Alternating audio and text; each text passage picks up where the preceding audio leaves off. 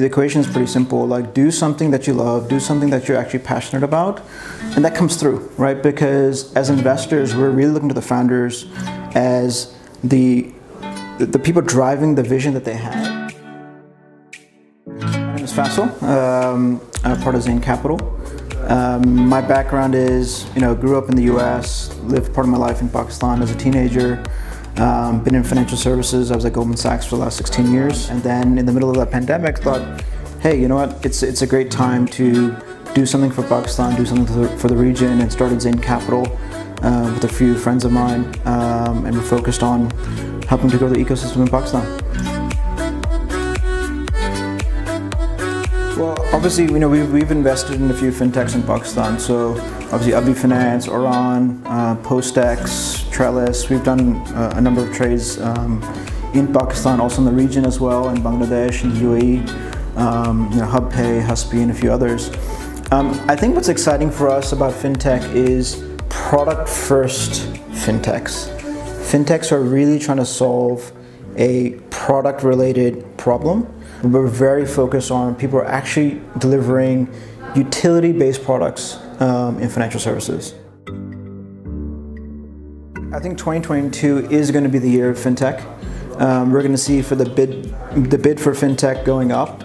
Um, we're also going to see, I think, a lot more solutions and, and products being created, um, and a lot more maturity in the market. I think you know we've seen kind of fintech 1.0 um, in Pakistan, and now we're kind of progressing uh, beyond that.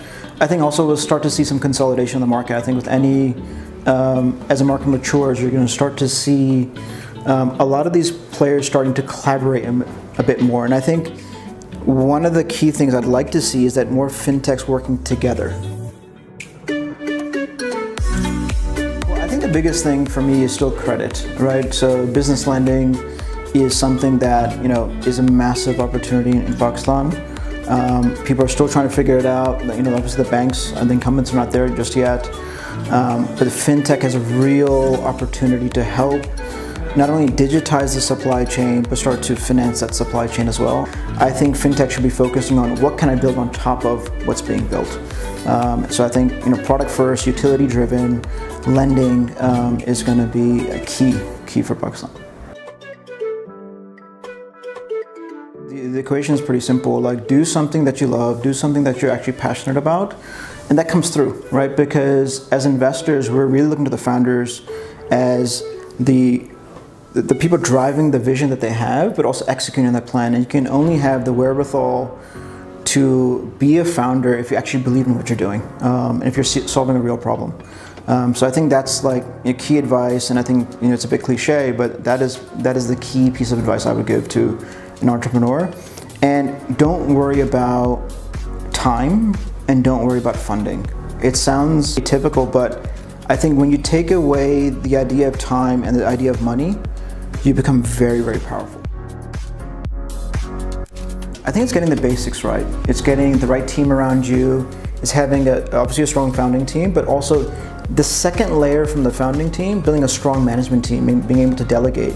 So a lot of it has to do with people and talent um, and building a culture. Like how do you build a culture um, within your organization that attracts talent, um, that focuses on, on the product and the problem you're trying to solve, and that's mission, mission driven. I think those are the key things that when those elements are not there, it causes startups to fail.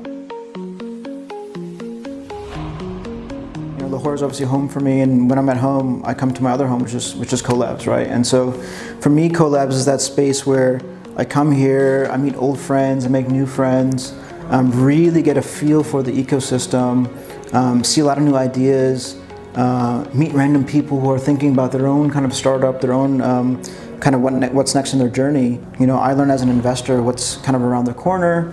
Um, I'm starting to hear kind of what are the issues people are facing, and then how can I, as an investor, really start to help them kind of surmount some of those issues as well. It's such an amazing team, and people are actually engaged. They're engaged with what they're doing. They understand like this is not just a place where people come to work. This is where people are coming to build something.